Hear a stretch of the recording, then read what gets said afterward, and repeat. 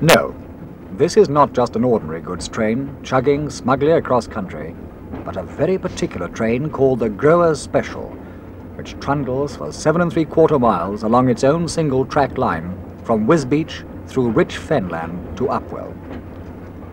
For most of the way, it runs beside the main Wisbech Ely Road, narrowly avoiding garden gates and shop doorways, sometimes ambling across the road with no more warning than a dignified hoot. Exactly why Melton Constable was chosen as the headquarters is a question that remains unanswered. Surely somewhere like King's Lynn, or Norwich, or even Yarmouth would have been more appropriate.